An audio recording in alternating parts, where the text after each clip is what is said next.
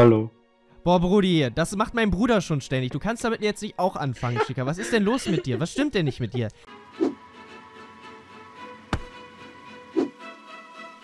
Bumm! Bumm! Bumm! Bumm! Darf ich den behalten? Ähm, eher nicht. Hallo und herzlich willkommen, liebe Freunde, hier zu einer neuen Folge von Let's Build Hogwarts mit diesen komischen Ottos im Hintergrund, die eben, äh, warte, ich zeige euch die zuerst, bevor ich mich selber vorstelle, weil ich, das, das sind ja mehrere Leute, das muss man ja eben mal kurz hier, dir, der Übersicht äh, halber, ne, da haben wir einmal den lieben Chica dabei, hallo Chica. Ja, jetzt musst du schon reden. Achso, sorry, Ja. ja. hi. Hi, hi, also. Äh, dann haben wir Luisa dabei, hallo Luisa.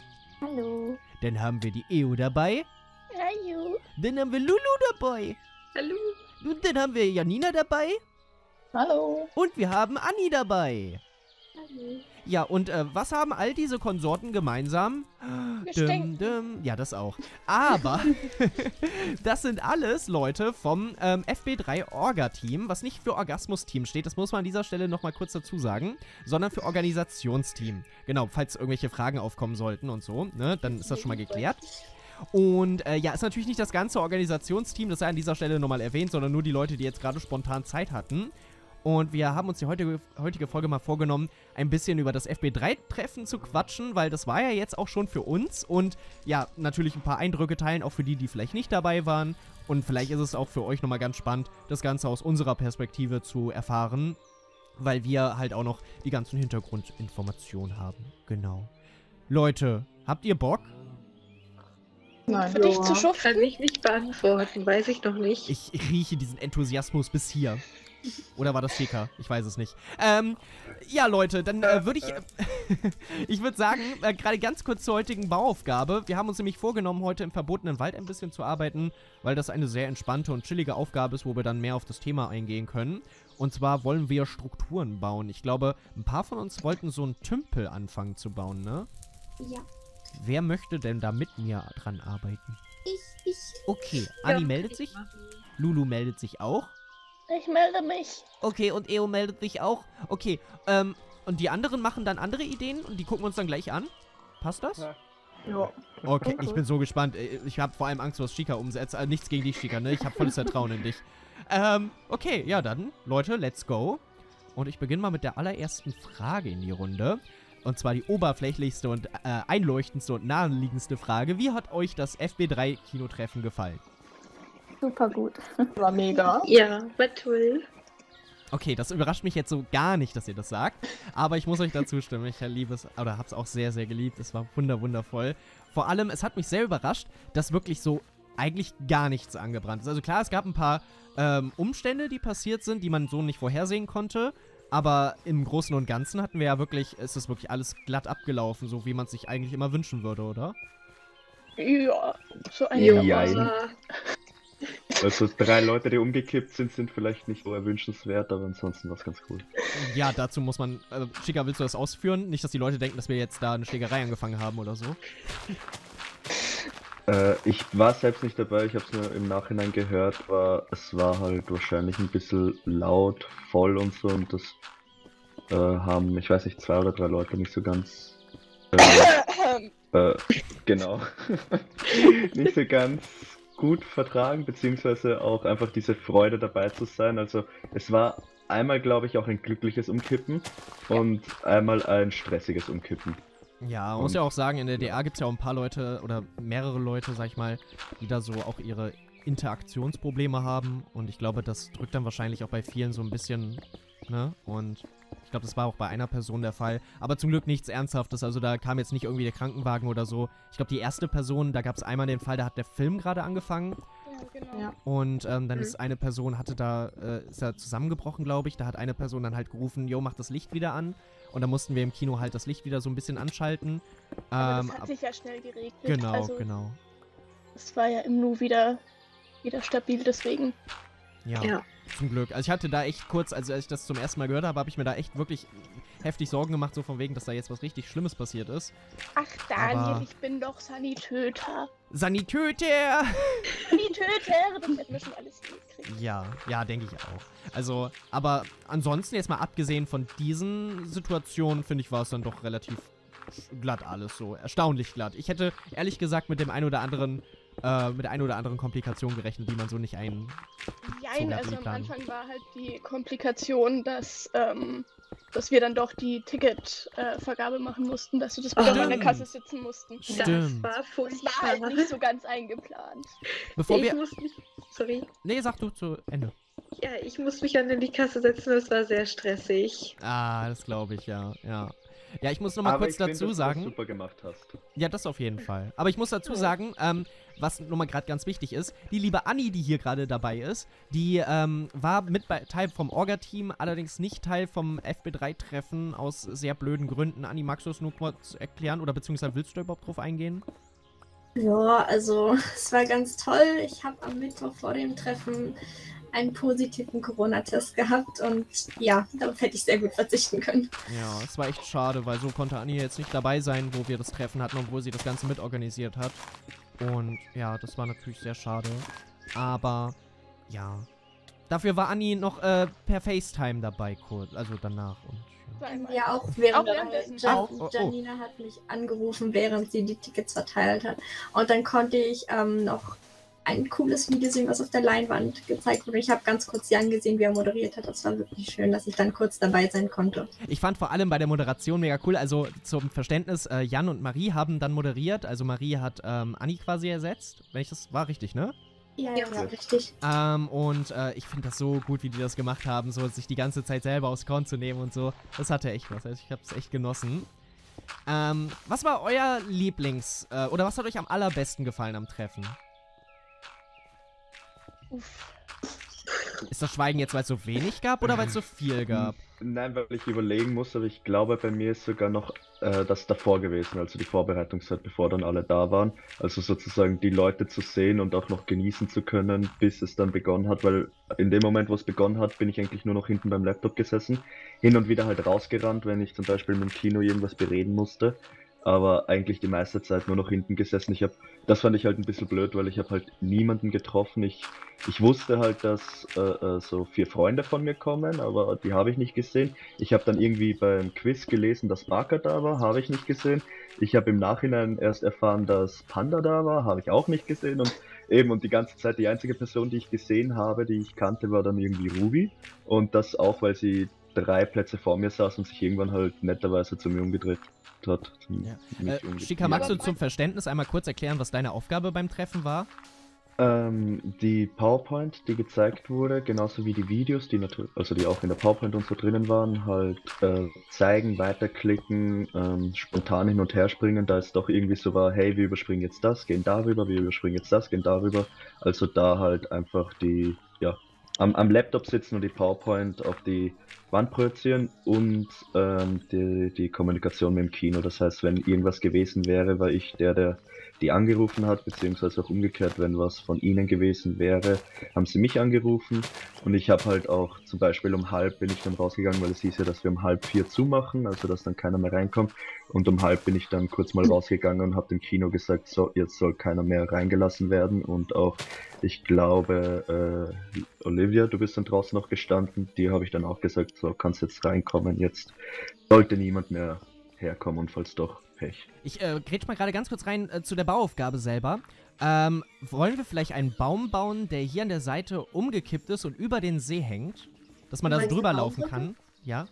So ein umgestürzter? Baum, über den man laufen kann. Das finde ich ist eine coole Idee. Oder? Wenn du Dann, nicht im Weg Yes. rumspringst, dann kann man das sogar machen, Daniel. dann, äh, dann würde ich hier äh, theoretisch noch so ein kleines Loch reinmachen, wo, der, wo die Wurzeln vorher drin waren quasi. Ähm, Daniel, Mach mal. bräuchten wir vielleicht schon Wasser. Hättest du vielleicht noch mal einen Eimer? Ja, ich gebe dir den mal wieder, wenn du... Also ich glaube, wir brauchen auf jeden Fall noch viel mehr Wassereimer. Ja, das auf jeden ich Fall. Wobei, ich kann meinen. Zauberstab rausholen und da rein... Also... Nein! Ah. Aquamen. Aguamenti machen. Wa- Was habt ihr denn gedacht? Ja, ja, genau. man bei dir versuchen oh Mann, ich werde wieder zu gut gekannt. Oh, danke dir. Sehr lieb von dir. Toll. Gerne. Ja, aber ich muss, äh, also ich muss ganz ehrlich sagen, ich war, also die ganze Vorbereitungszeit mit euch im Team, das war wirklich mega cool. Also ich hatte schon bei meiner Rede gesagt, klar, es gab hin und wieder mal so Situationen, wo man so ein bisschen aneinander geraten ist oder beziehungsweise wo es Unstimmigkeiten gab, aber ich glaube, das ist auch bei einer Runde, die äh, so groß ist wie wir. Wir waren ja jetzt knapp 20 Leute, glaube ich. Ja. Ähm, nichts Ungewöhnliches. Und jeder hat ja irgendwo seine Vorstellungen und seine Ideen, wie er sich was wünschen würde. Aber im Endeffekt sind wir DA-Mitglieder, die für andere DA-Mitglieder so ein riesen, man muss ja sagen, riesen Event auf die Beine gestellt haben. Und äh, ich kann es immer noch nicht fassen. Und ich muss auch sch- zustimmen in dem Punkt, dass mir tatsächlich auch die Vorbereitungszeit echt extrem gut gefallen hat. Ich würde jetzt nicht direkt sagen am besten, das wüsste ich jetzt nicht so genau, ob mir die am besten gefallen hat, aber es war unglaublich cool, so einer der ersten Personen in diesem Kinosaal zu sein. Und eben all das, was wir da so organisiert haben, dann noch, ja, eben mitzuerleben. Das, das war echt bombastisch. Alleine so dieser erste Blick, wenn man in den Kinosaal reingekommen ist, als der komplett leer war, so und dann zu wissen, okay, krass, in, keine Ahnung, zwei Stunden ist dieser Saal einfach komplett voll mit DA-Leuten. Wir müssen in zwei Oh Stunden ja. schaffen, alles vorzubereiten. Ja. Aber wir waren ein bisschen äh, zeitlich äh, ungünstig am Anfang, oder? Äh, Also, wir hatten ein bisschen Struggle, oder? Meine ich? Wir haben sehr lange rumgestanden und nichts gemacht, weil wir auf irgendwas gewartet haben, wo ich gerade gar nicht mehr weiß, worauf wir gewartet haben.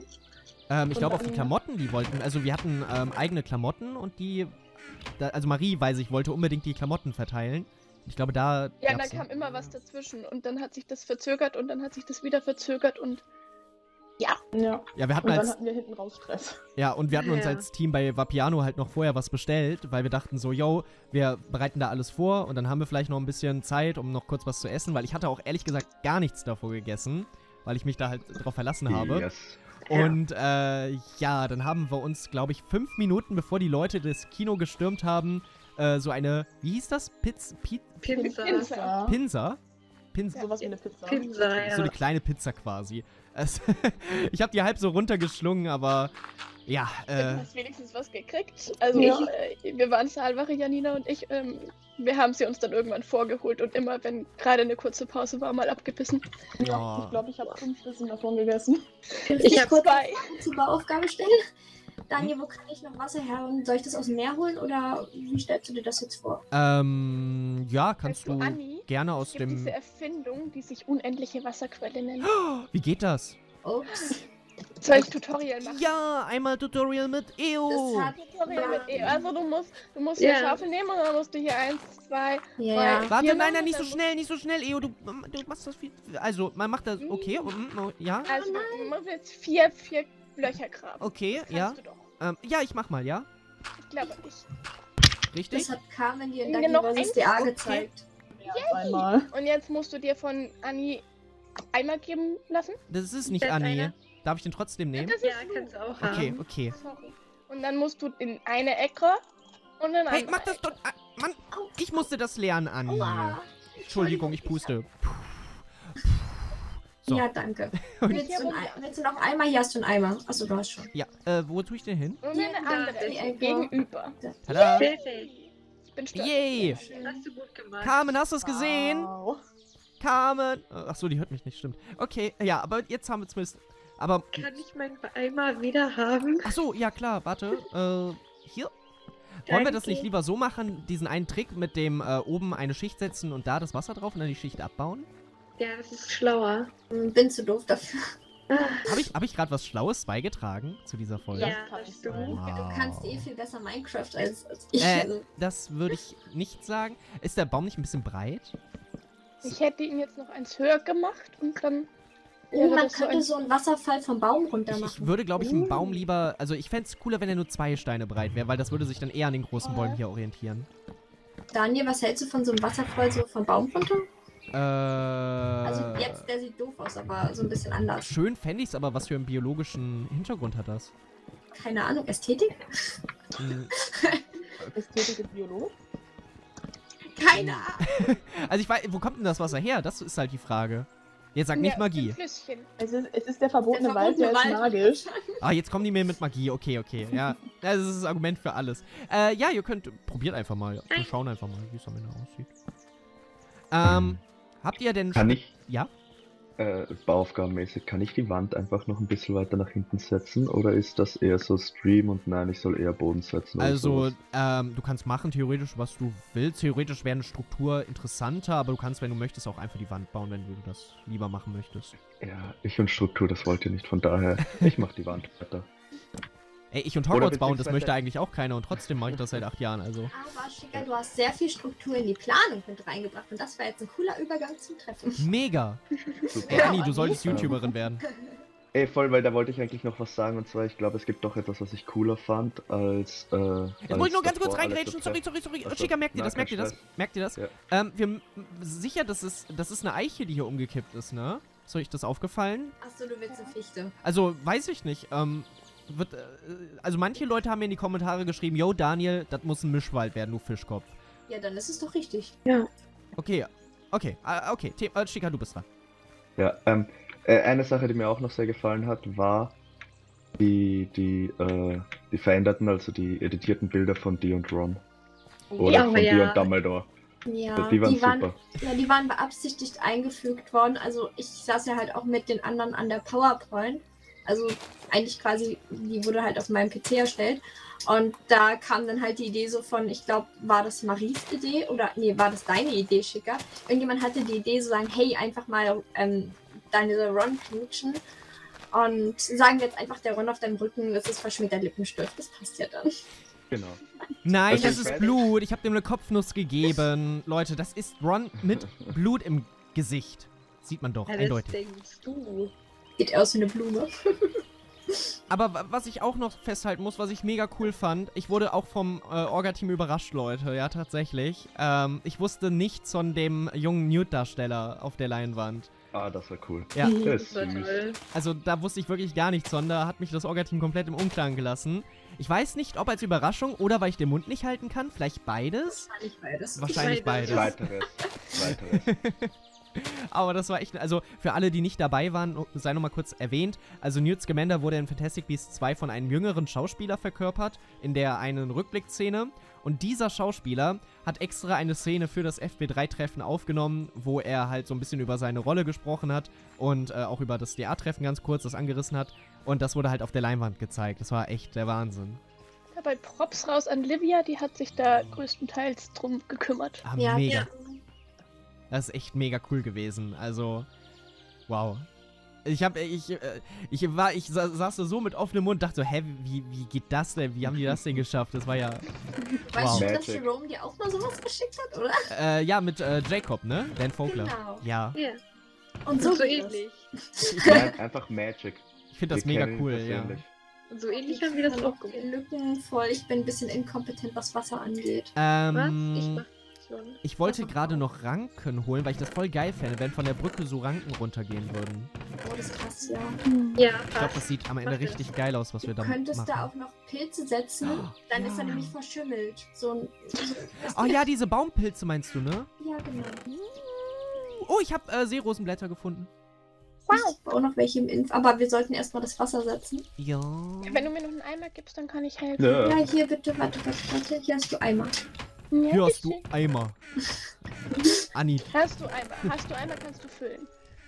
ähm, Wasser, dass es hier in die, in die Mitte geht. ich vermisse ehrlich gesagt Ranken und ich vermisse ehrlich gesagt äh, Baumpilze. Ich gehe mal zu Wobkobbel. Ich flieg mal zu Wobkobbel, meinte ich.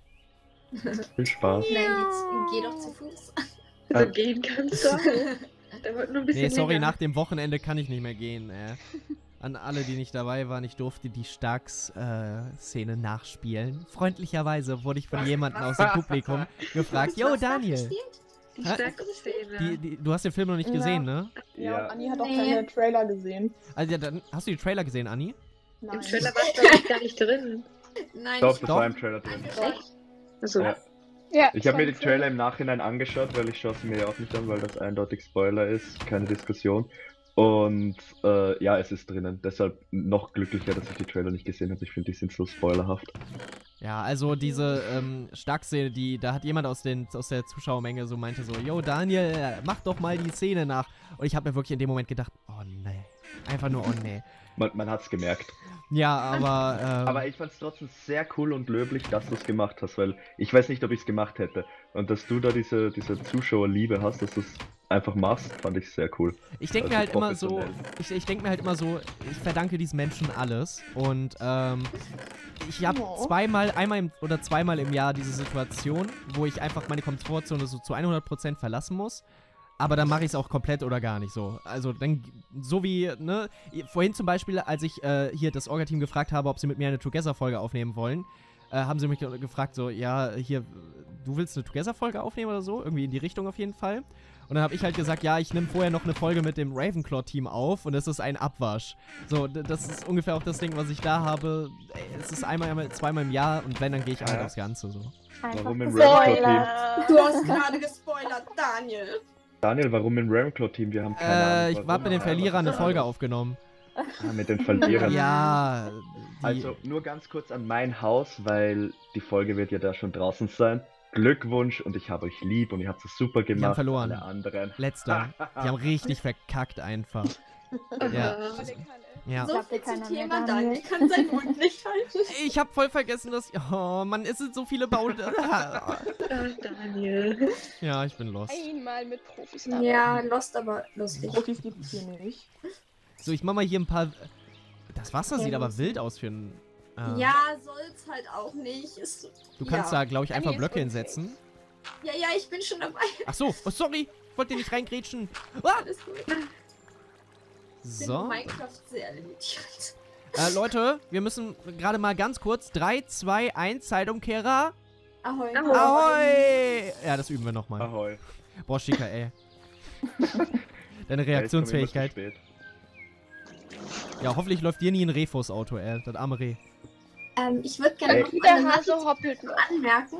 Also dieses äh, Logo, was, ähm, was ähm, da überall auf den Klamotten war und das auch auf der PowerPoint quasi ver verewigt oder wie man es nennt, sagen kann, das wurde von dem lieben Knoxy erstellt.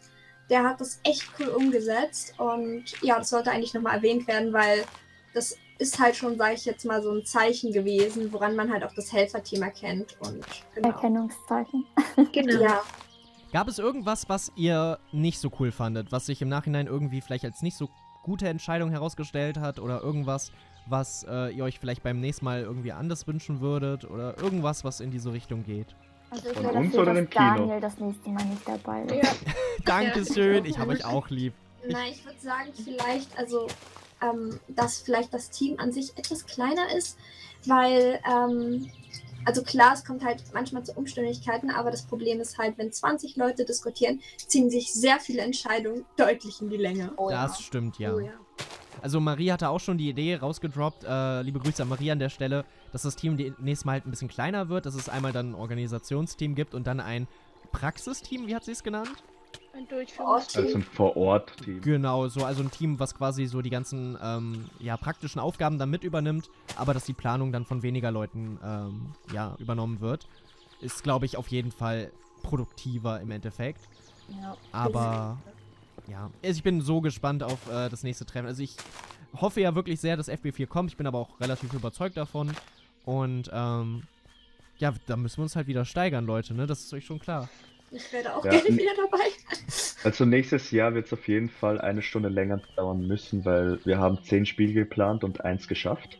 Von daher, Stimmt. Echt? Haben wir nur eins geschafft? ja, ein Ja, Quiz, das wir war's. haben da sehr viel Zeit investiert in die Fragen. Oh. Wir haben Oha. halt, ja, ja, wir haben da wirklich, ich glaube, locker drei Stunden dran gesessen, an einem Abend quasi. Und dann halt, war ja nicht nur der eine Abend. Naja, dann ist der Vorteil, dann hat man schon mal vor, vorgeplant. Ist sowieso. viele. Für Ja. nächstes Jahr müssen hab wir gar- nichts machen. Ich habe habe gar nicht mitbekommen, dass wir nur so wenig geschafft haben an Spielen.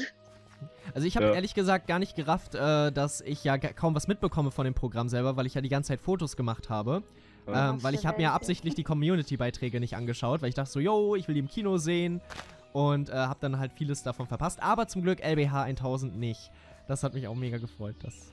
Und äh, da, Äh, da haben wir eh geschaut, dass das am Ende kommt. Eben genau, Ja. dass alle schon sitzen, dass keiner mehr Fotos macht, dass jeder am Klo war. ja. und so weiter. Und an dieser Stelle auch nochmal liebe Grüße an Elbenwald und an Evolve, die uns da supportet haben und die uns gesponsert haben mit Geschenken für alle Teilnehmer. Es gab einen Salzstreuer, einen Salting Head, das ist so ein geiles Wortspiel, könnte von Anni kommen. Hätte von Aniko. Ja. Dankeschön. Ist das jetzt mein Markenzeichen oder was? Ja. Ja, so in etwa, ja. Und ähm, genau, und die Wolf hat nochmal so Tragetaschen angefertigt, wo jeder eine bekommen hat. Und ähm, dann gab es noch magische Schokolade von den Phelps-Zwillingen, damals aber irgendwie auch nicht. Ich weiß nicht, irgendwas. Also es, es war irgendwie mal mit den Phelps-Zwillingen in Verbindung. Und es ist echt mega cool gewesen, dass die Leute. Also ich muss ganz ehrlich sagen, beim Preis-Leistungs-Verhältnis können wir uns null schämen. Also das war wirklich ohnegleichen. Die Leute hätten ja theoretisch in Elbenwald für die Geschenke fast genauso viel bezahlt. Also, rechnen, wir könnten ja mal zusammenrechnen. Dieser, dieser Salzstreuer kostet 10 Euro, so eine Tragetasche kostet 10 Euro. Äh, die Schokoladentafel kostet 3 Euro. Da sind wir schon bei 23 Euro. Da ist der Film noch nicht dabei, da ist noch gar nichts dabei. Das ist also. Ja. Also ich finde, da können wir auf jeden Fall uns auf die Schulter klopfen, dass das gut war. Also letztes insgesamt finde auch ich. so cool. Also fand ich halt auch cool. Beim letzten Mal gab es ja diese coolen Bücher von, ich glaube, Newt Scamander, dieses Taschenbuch. Genau, ja. Und das war halt auch schon echt cool. Das stimmt, ja. Aber wir haben unser Versprechen eingehalten. Das FB1-Treffen war das kleinste, das FB2-Treffen war etwas größer und das FB3-Treffen war das größte. Jetzt, äh, ne? Wir sind, haben uns immer weiter gesteigert. Das finde ich echt nice. Eieiei, was kommt Was denn da machen wir nächstes Mal? FB4? 600, 1000, 600 oder glaub ich. 700 Leute? Äh, ja, das Schöne ist ja. 150 voll kriegen vom aktuellen Kino und dann. Na, es gibt doch in, die, in irgendeiner Stadt diesen Kinosaal, da gehen, glaube ich, 1000 Leute oder so. Ja, das ist Ja, in da, Deutschland. das, ist der, das ist dann äh, äh, für FB5. Da, da, Aber da wird, da wird nicht. Marie dann nicht mitplanen, weil sie hat schon gesagt, das möchte sie. äh, Das war in Düsseldorf, glaube ich. Und in Düsseldorf möchte Marie nicht mitplanen. Mm, ekelhaft. Echt, Düsseldorf, diese komische Stadt, all die Leute, die da Ich bin gebürtiger Düsseldorfer. La la la la la la la la la. Wissen wir, darum sag ich's ja. Aber ähm, ja, wir könnten theoretisch auch fürs FB4-Treffen das gleiche Kino nehmen, weil der Saal Mhm. hätte ja noch gefasst und ich hoffe mal, dass Bis es zu dann mit 600 Corona. Leuten, Ja, ja, also bis zu 600 Leuten ja, ansonsten nein und ja. ja. Armen, Aber die ganz vorne sitzen Das fließt immer noch. Fließt das noch? Und was ich mir auch noch voll gut vorstellen könnte, wenn irgendwann mal FB, äh, also Fantastic Beasts vorbei sein sollte, o- oder beziehungsweise, ne, wenn, wenn, nee, ich will den Teufel nicht an die Wand malen, wenn's, wenn der fünfte Teil vorbei ist, dann, ähm, ja, dann, dann könnten wir vielleicht auch noch solche Events weiterführen, indem wir die Harry Potter Filme, vielleicht so ein, also Harry Potter Marathon wäre jetzt vielleicht ein bisschen übertrieben. Aber generell, oder wenn wirklich eine Serie kommen sollte, dass man vielleicht so die letzten drei Folgen einer Serie zusammenschaut oder irgendwie sowas in die Richtung. Ich finde, das muss auf jeden Fall irgendwie so ein Ritual bleiben. Fände ich sehr cool. Vor allem, Ja, weil das ja mit der. Ja. Das Jedes Mal einen Film zeigen. Also dann hättest du quasi noch acht Treffen, Ja. ja. wenn du immer jeweils einen Film zeigst. Oh, ich bin wieder am Rumbuggen. Moment, muss mal rejoinen. Ähm, ja, genau. Also, da wird sich bestimmt noch einiges machen lassen. Und ich denke auch, wie gesagt, bei der Wizarding World wird noch viel Content kommen. Also, ich denke mal nicht, dass es da nach Fantastic Beasts äh, aufhört. Leute, wir müssen langsam zum Ende kommen. Ich würde mal eben auf das Gebaute eingehen, weil ich muss ganz ehrlich sagen, ich finde es wunderschön. Schaut euch das mal eben an. Was sagt ihr? Ich ertrinke gerade. Leider abgebaut werden ja sehr gut Lu. TP Was? mich Ja, die werden wo. abgehört. Wo seid ihr überhaupt? Äh, soll ich mal Bau-TP? Ich mach mal Bau-TP. Ja, mach mal. Nein, nein, nein, nein, nein, Moment, einen Moment. Okay, okay. Drei, Aber Zwei. Ah, Daniel. eins, Nein, Warte. drei, vier, acht, 34, 69, 31, 5, jetzt. okay. Oh, äh, war zu früh. LSD. LSD. Schaut mal, Nein, ich muss noch die Steinzellen abbauen. Es sieht ein bisschen lebensbejahend aus, aber wenn man das hier ein bisschen dichter baut, so im Umkreis hier ist noch relativ licht alles, das wird noch dichter gebaut. Aber wenn es dann so richtig eingefärcht ist von Bäumen, dann könnte das richtig geil aussehen. Also es sieht jetzt schon Ja. geil aus, aber halt noch ein bisschen, finde ich, zu, zu schön. Kann man das vorne und in- hinten vielleicht ein bisschen dicker machen, weil Bäume werden ja meistens ein bisschen dicker oben und unten, beziehungsweise oben sind es halt die Äste. Ja, ich habe das versucht glaube, hier so ein bisschen anzudeuten, indem das Wurzelwerk halt breiter ist als zwei Blöcke. Aber ich weiß, was du meinst, ja. Vielleicht könnte man das noch irgendwie. Ich habe jetzt selber. Doch, ich habe noch Holz. Ähm, Er muss doch nicht jetzt sein. ja, Also, vor allem, ich setze auch noch ein. Fichtenholz. Äh, ja. Okay, nee, Leute, also ich finde es sehr schön. Was sagt ihr? Ja. Der Schick ist Ja. Ja. Ja, ich bin auch schön. Okay. Ja, äh, Shika, geh mal bitte aus dem Bild. Ich will das Sch- Bild schön haben. Geh mal weg. Wo, wo So. bist du da? So, äh, ja, mir gefällt das wirklich sehr, sehr gut. Und äh, jetzt die Frage an die Zuschauer da, da draußen. Äh, findet ihr das auch schön? Und äh, wart ihr beim FB3-Treffen? Wenn ja, wie fandet ihr es? Gerne auch mit Kritik. Wir sind äh, sehr, äh, also wir wünschen uns sehr gerne Kritik von euch, wenn ihr da irgendwas habt, damit wir uns natürlich da auch stetig weiter bessern können. Und ähm, falls ihr nicht dort wart, dann schreibt gerne mal in die Kommentare, ob ihr jetzt vielleicht ja, Bock habt, da beim nächsten Mal mit dabei zu sein. Ansonsten freue ich mich natürlich auch über jeden Daumen nach oben. Vielen Dank an das Orga-Team einmal für die Folge hier und natürlich auch für die Organisation des ganzen Events nochmal an der Stelle. Und es gilt natürlich auch für die Leute, die nicht. dabei sind. Und, was hat die gesagt? Ach, keine Ahnung. Ähm, äh, ich wünsche euch allen einen schönen Tag, macht was draus und bis zum nächsten Mal. Tschüss. Schika sagt du auch. Tschüss. Schika? Servus. Ach, das, ach so, okay. Tschüss.